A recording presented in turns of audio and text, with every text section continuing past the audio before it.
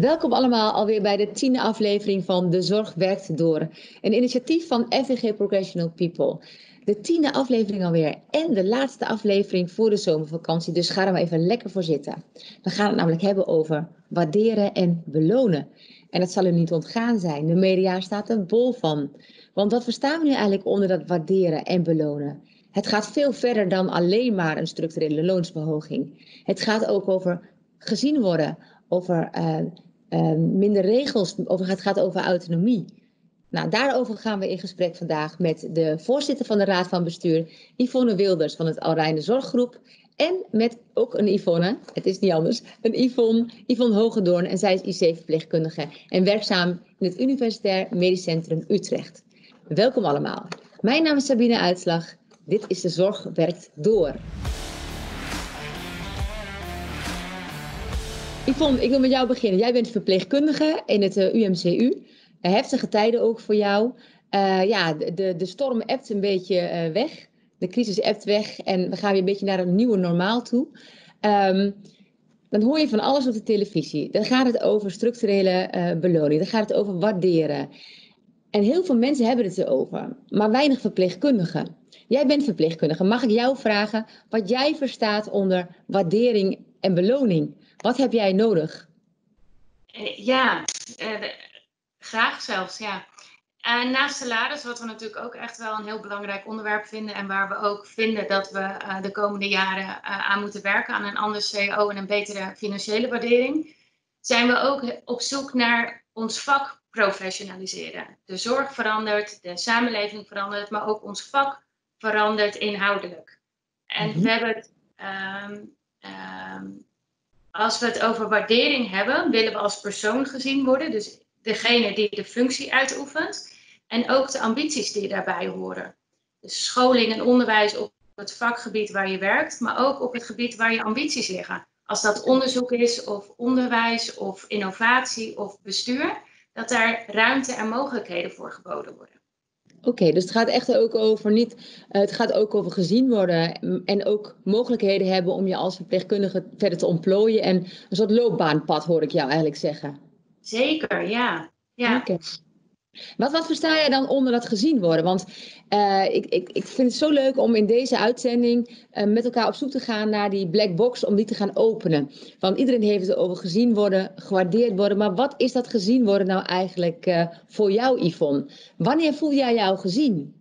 Nou, als ik op het werkveld een prachtig verbeterd idee heb of een hele mooie innovatie heb bedacht, of althans in ieder geval dat zelf al heel erg mooi vind dan is het heel leuk als je dat bij je leidinggevende of bij je collega's kan uh, delen. En zeggen, ik zou dit of dit nodig hebben. Of eigenlijk dat je daarmee de ruimte en de tijd krijgt dat je het mag gaan uitrollen of vaker kan gaan doen. Dus eigenlijk zeg je van geef mij de ruimte, geef mij het vertrouwen dat ik mijn eh, vak goed kan uitoefenen. Maar dat ik ook op zoek kan naar uh, andere verdieping, andere wegen om mijn vak in onderwijs of in onderzoek aan het bed goed neer te zetten. Zeker. En ook als ik bijvoorbeeld dingen niet goed doe, dat je daarop uh, getraind of gecoacht wordt. Oké. Okay. Ja, en is dat er ook in, jou, uh, in jouw ziekenhuis, Yvonne? Um, er, op heel veel plekken zal dat er zeker zijn. Um, maar het is er niet altijd. ik heb zelf ook die zoektocht gehad naar waar kan ik met mijn ambities heen of waar moet ik bij wie zijn voor welke verantwoordelijkheid. Uh, dat blijft zoeken en dat blijft ook wel afstemmen. Ik moet zelf heel eerlijk zeggen dat ik het in de adviesraad wel heel erg gevonden heb. Uh, met, uh, wij hebben in de verpleegkundige adviesraad een brede vertegenwoordiging van verpleegkundigen en onderzoekers uit iedere divisie. Nou, in ons UMC is dat natuurlijk vrij veel mensen. Um, en door de VAR leer je ook waarom bepaalde keuzes gemaakt worden of aan welke verwachtingen en verantwoordelijkheden en verplichtingen je als instelling um, van doen hebt. Maar daar, als je ideeën hebt uh, wat de zorg kan verbeteren of wat de omstandigheden voor ons als professional kan verbeteren, uh, wordt er gehoord, mag je meedenken en heb je zeggenschap. Prachtig. Oké, dus dat is eigenlijk ook een belangrijke oproep voor verpleegkundigen om zich te verbinden aan zo'n uh, zo'n VAR omdat je dan het grote perspectief ook kunt uh, zien. En daar ook snappen waarom bepaalde beslissingen genomen worden. Maar daar ook in, in kunt, uh, kunt bijdragen. Daar ook een stem in kunt hebben. Ja, en um, op aanvullen, dat heel erg ja, wat jij samenvat, um, is ga ook op onderzoek uit. Ga niet bij de eerste berichtgeving ervan uit, dit is de enige waarheid. Zeker in de media um, is het niet altijd de enige waarheid die verteld wordt. Of ga op zoek naar achtergronden. Ja, Yvonne, jij bent voorzitter raad van bestuur van Alrijnen. Um, ja, als je dit zo hoort, hè, de verpleegkundige moet ook zelf op zoek uh, gaan naar van, ja, wat wil ik nu eigenlijk? Moet het ook aangeven. Maar ik kan me zo voorstellen, Yvonne, als we het gaat hebben over waardering en respect, dat ook heel veel verpleegkundigen de wegen niet weten. Wat doe jij als bestuurder daaraan? Hoe zorg jij ervoor dat die verpleegkundigen, verzorgenden, uh, ja, die waardering ook kunnen halen, zeg maar? Nou, het is belangrijk dat je bij belangrijke beslissingen die je in je organisatie neemt, ook verpleegkundigen expliciet betrekt. Kijk, de artsen worden bijna altijd wel gevraagd eh, van wat vinden jullie ervan? En als ze het niet vragen, dan stappen ze vanzelf wel naar voren met hun mening. En verpleegkundigen stellen zich in het algemeen vaak wat meer bescheiden op. En uh, het is dus ook een kwestie van je per belangrijk onderwerp steeds afvragen: is dit een onderwerp wat ook onze verpleegkundigen en verzorgenden raakt? Nou, dan moeten we bij de VAR vragen: lever input op dit onderwerp. En uh, wij hebben bijvoorbeeld vorig jaar in ons strategietraject, uh, Sabine, een delegatie van de VAR ook gevraagd: van denk in alle strategiesessies mee aan de voorkant. In plaats van dat we jullie achteraf dan vragen: goh, geef een advies op het strategiedocument. Nee, denk mee aan de voorkant wat zou er in het document moeten komen te staan? nou, dat hebben we hartstikke goed gedaan. En we hebben ook uh, vanuit de werkvloer 15 mensen uh, een wildcard gegeven. Uh, teamleiders, maar ook gewoon verpleegkundigen, OK-assistenten.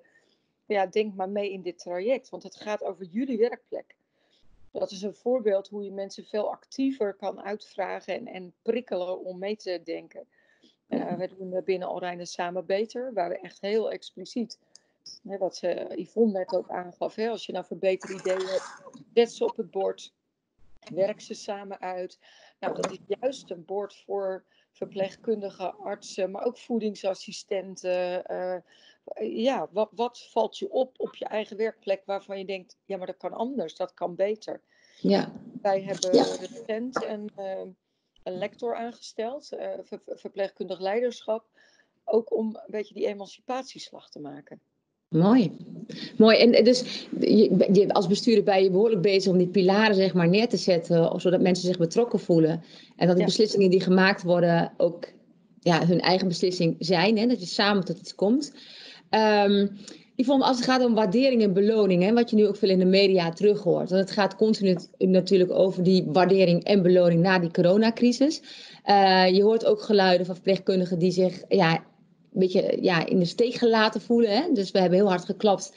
En uh, ja, nu ebt alles weer weg. Alles gaat naar het normale. En het lijkt wel of dat prachtige mooie vak, de zorghelden, er niet meer toe doen. Um, het gaat meer en verder dan financiële uh, uh, beloning. Hoe kunnen wij die waardering, zoals we dat noemen, wij willen waardering. Hoe zie jij dat? Hoe concretiseer jij dat als bestuurder? Nou ja, wat mij betreft uh, staan die palen uh, uh, van belonen, ontwikkelen en waarderen niet los van elkaar. He, dus als je mensen een heel goed inkomen geeft, maar je laat niet zien dat je ze belangrijk vindt en waardeert, of je geeft ze geen kans om te ontwikkelen, dan, dan is het armoeig. Maar omgekeerd, als we alleen maar klappen en hoera roepen en daar niet ook af en toe geld bij stoppen, ja, dan is het ook armoe. En op zich is een, een verpleegkundig salaris geen armoesalaris, maar het is ook een heel hard, hard werken beroep met veel, uh, nou, wat dan zo mooi heet, disutility. Uh, werken op tijd dat, andere mensen echt al lang al in hun bed liggen of uh, weekend vieren. en ik denk dat mensen dat wel eens onderschatten, de, de flexibiliteit die dat vraagt in je hoofd, in je lijf, in je leven. Um, mensen zijn ook vanuit hun enorme passie vaak bereid om in te springen als het moeilijk is. Nou, dat hebben we in de coronatijd natuurlijk uh, ultimo uh, gezien. Hoe ja. mensen extra diensten draaiden, taken oppakten. Ja. ja, is het wel zuur als je ziet dat de samenleving na de crisis zegt, nou, en bedankt. Ja, en ja. bedankt. Ja, maar kunnen we daar dan wel over hebben? En het is best ingewikkeld om als bestuurder alleen daar wat aan te doen. Omdat je dan toch zit in een En dat klinkt een beetje flauw, maar je zit dan toch in een kader waarbinnen je het allemaal moet regelen. Waar weinig schuifruimtes zijn. Ja. Uh, en een CAO waar je natuurlijk ook uh, probeert aan te houden. Je ja. ook zeggen, nou bij ons krijg je wat meer, want dan heeft een buurman of buurvrouw bestuurder daar veel last van. Ja. Dus het zou toch wel chic zijn als we dat op landelijk niveau beter weten te kanaliseren, deze discussie. Ja. Ja. En wat vinden we dit nu waard, ook in relatie met andere beroepen op MBO-HBO-niveau? Ja, en als je dat andere stukje, want je zegt ook van er staat niet los van het waarderen. We hebben net al gehad over um, uh, respect, hè, gezien worden. Ja. Maar dat gezien worden, los nog even van de discussie zoals je die nu uh, van vanuit belonen uh, aanvliegt. Hoe kan je nou als ziekenhuis zorgen dat mensen zich gewaardeerd en gezien eh, voelen? Jij zegt al, binnen het Alrijnen zijn we daar al behoorlijk mee bezig. Eh, de, de VAR, maar ook de wildcards die we uitdelen om vooraf dat in het beleid wordt gemaakt, mensen erbij te betrekken, is natuurlijk al een prachtig mooi voorbeeld hoe jullie dat, uh, dat doen. Um, Yvonne, als je naar jouw situatie kijkt hè, en je hoort hoe dat in het Alrijnen gaat, is dat iets wat, wat voor jou uh, vanzelfsprekend is? Is dit normaal? dat verpleegkundigen op die manier worden betrokken bij beleidsvoering? Um, toen ik Yvonne hoorde praten, dacht ik, oh ja, dat doen we ook. Oh ja, dat doen we ook. We hebben ook het samen voor de patiënten systematiek dat we ochtends of gedurende de dag informatie ophalen en verbetertrajecten ophalen. En zo hoop je dat het dan eh, de organisatie ingaat. Wat heel vaak ook goed gaat. Alleen, ja, ja het gaat heel vaak goed. En ook als VAR zitten we aan tafel bij capaciteitsmanagement overleggen, bij uh, beleidsstukken. Um, zijn we het laatste jaren in samenwerking met de Raad van Bestuur, of eigenlijk op uitnodiging van de Raad van Bestuur, met de hoogleraren in gesprek gegaan. Hoe kunnen we nu een toekomstbestendig plan maken voor de verpleegkundigen binnen het UMC, waarin we ze waarderen, belonen, opleiden, uitdagen en daarna behouden voor de organisatie of zorg. En Mooi. Dat, en dat plan is fantastisch. En daar geloof ik ook heel erg in. Maar hij is um, ook heel groot, want hij raakt alles. Hij, hij raakt uh, combinatiebanen, hij raakt uh, carrièreperspectieven, hij raakt opleiden, innoveren en ook een andere manier van leiding geven. Oké, okay. en een andere manier van leiding geven. Yvonne, als je dit zo hoort, hè, van... Uh, het gaat over loopbaanpaden, het gaat over uh, innovatie, het gaat over inzet van uh, ja, innovatie, denk ik ook meteen aan technologie, Yvonne. Van een onderwijs, hoe kunnen we zorgen dat het ook een, een uitdagende baan blijft? Hè? Als je kijkt naar de tekorten die er nog steeds zijn. En je wil toch graag die mensen binnenkrijgen. En willen ze ook behouden. Wat moeten we dan doen om te zorgen dat die verpleegkundigen zich gezien worden, gewaardeerd worden? Kan jij daar vanuit jouw perspectief, Yvonne, als bestuurder, uh, kan daarop reageren? Nou, ik denk dat uh, vanuit alle onderzoeken, en dat, daar is Nederland niet uniek in, uh, maar alle onderzoeken wijzen uit dat wat verpleegkundigen het meest belangrijk vinden, is hun professionele autonomie. Dat je uh, gezien en ge, gepositioneerd wordt op de kennis en de deskundigheid die je hebt. En dat je dus inderdaad meer een leidinggevende heeft die werkt aan randvoorwaarden om goed te kunnen werken, randvoorwaarden om je te ontwikkelen. En dat je niet dat zozeer nodig hebt om uh, nou ja, bij de hand genomen te worden in de dagelijkse setting, om het maar even zo te noemen. En dat men het veel belangrijker vindt om daar in peer, peer-to-peer, dus eh, verpleegkundige tot verpleegkundige over te praten. Uh, dat is een hele belangrijke voor de, uh, werkplezier en arbeidssatisfactie uh, bereiken. En een tweede die heel belangrijk daarin is, hoe gaan de artsen om met de verpleegkundigen? Worden ze gezien als een integraal en, en volwassen, volwaardig deel van het behandelteam?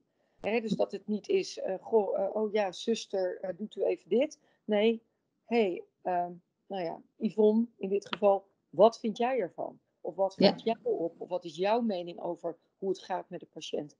Mooi. Laten we dus niet vergeten dat verpleegkundigen de patiënten vaak nou ja, een factor 20 uh, meer zien tijdens hun opnames uh, of tijdens behandelprocessen dan uh, de arts. Precies, dus die relatie artsen-verpleegkundigen, dus de, de, de, sociale cohesie op zo'n afdeling in zo'n ziekenhuis is super belangrijk, zegt, ja. uh, zeg jij. Hè? En wat Yvonne ook aangeeft vanuit uh, het UMCU, ook de, de, de relatie met die leidinggevende is zo belangrijk om het werkplezier als belangrijke factor om mensen te behouden, toch, uh, toch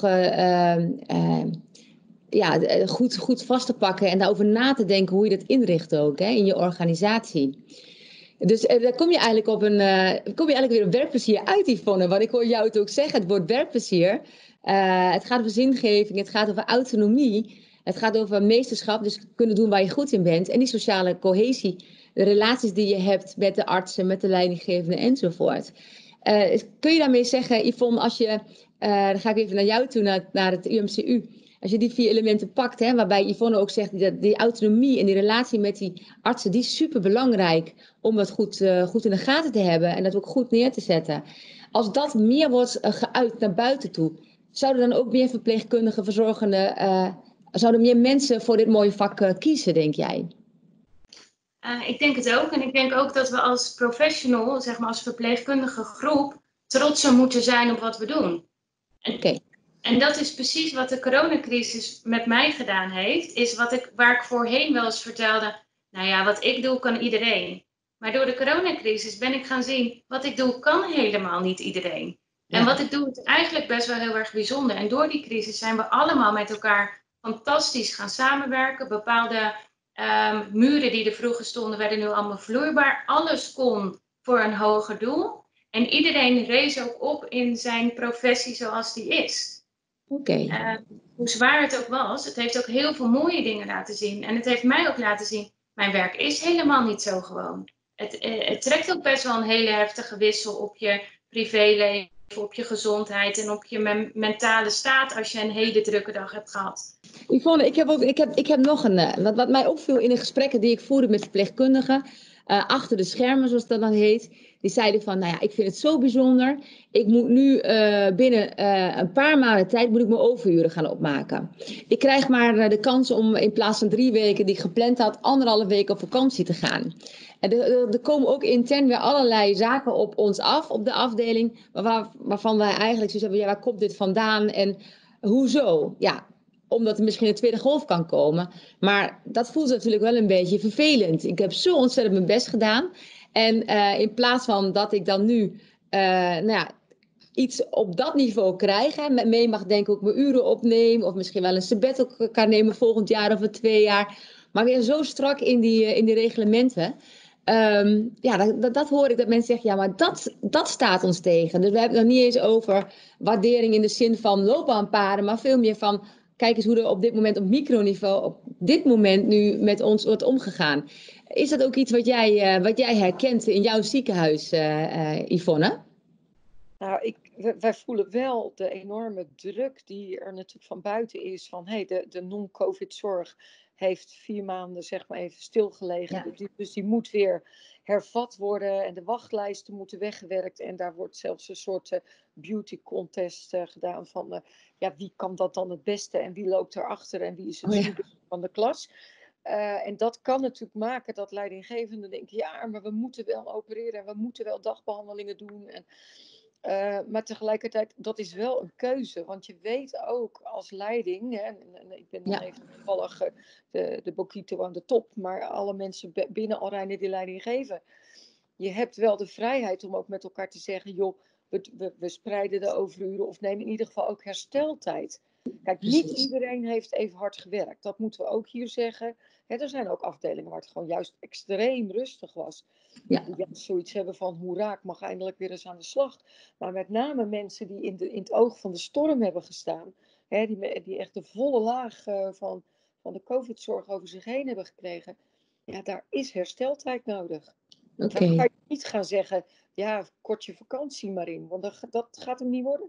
Dan heb je straks gewoon een... Uh, een medewerker met een burn-out. Ik zou er kunnen zeggen dat waardering, als we het daar hebben met elkaar, ook in de media, eigenlijk vele lagen kent.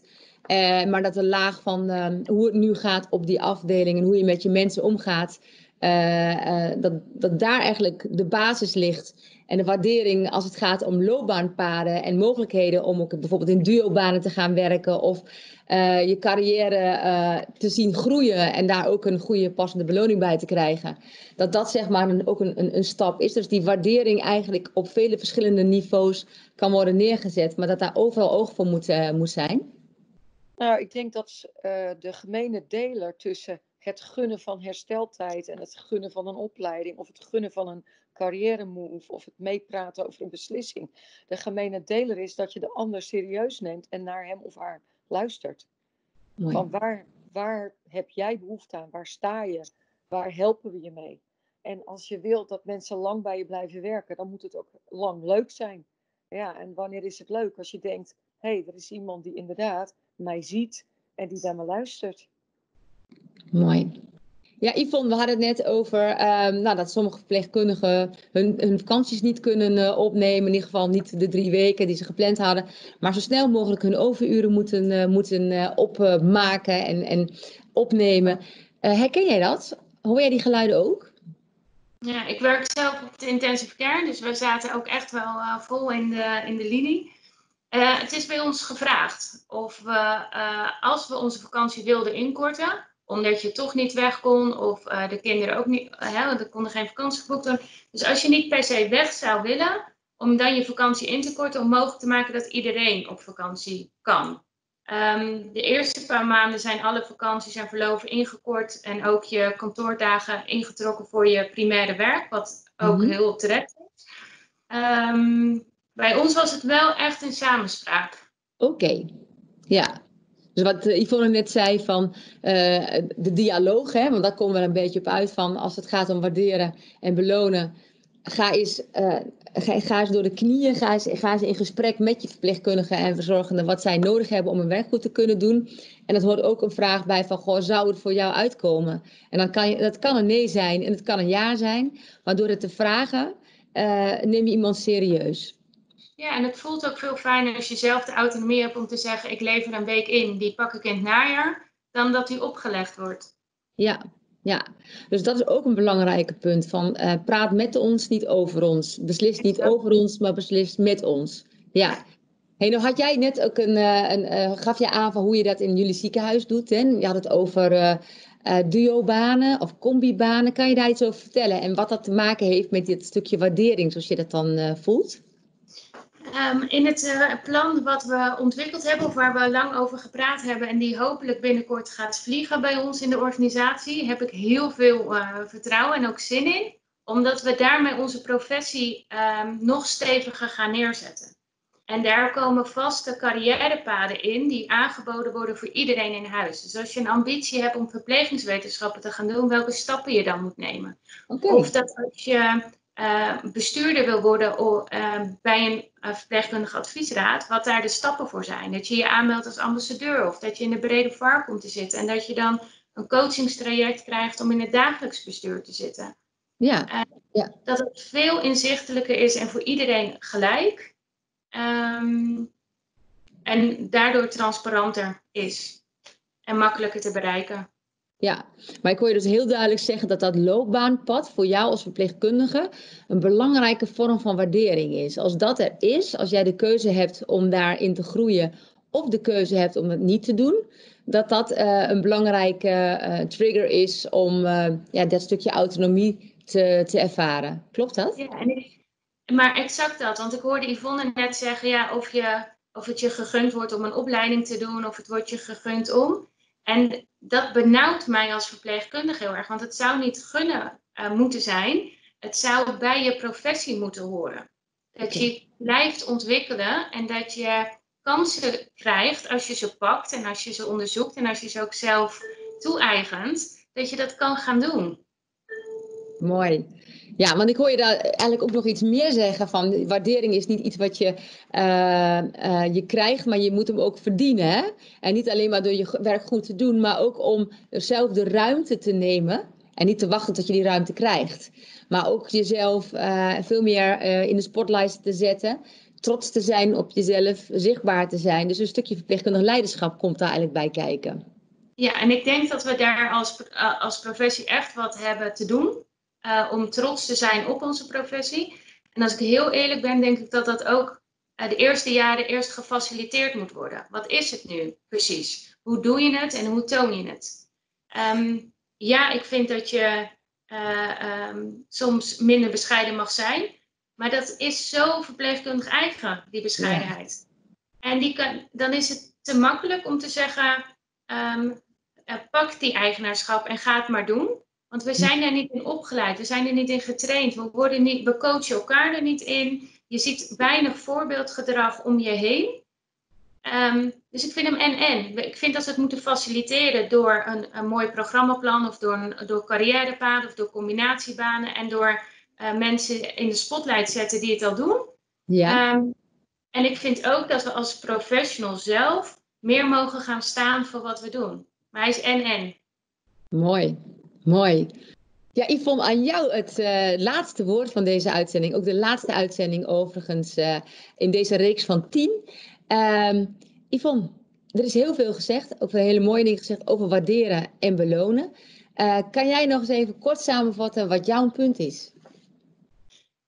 Um, inderdaad, heel veel mooie dingen gezegd. Ik denk dat we als beroepsgroep nog veel ontwikkelingsmogelijkheden he hebben in onze professionaliteit.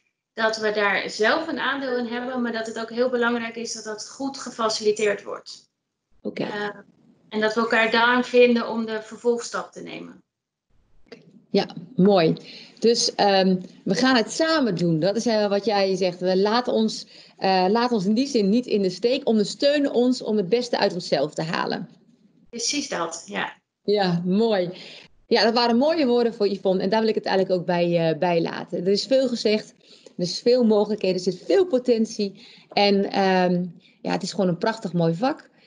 Ik hoor allerlei piepjes bij jou op de achtergrond, uh, Yvonne. Jij zit op de IC. Uh, jij gaat snel weer aan de slag uh, als IC-verpleegkundige. Ontzettend bedankt voor je tijd en voor jouw sprankelende bijdrage. En Yvonne ook bedankt.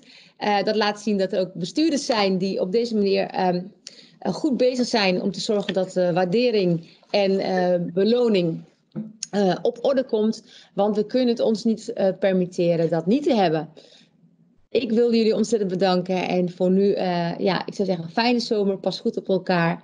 En wie weet, tot na de zomer.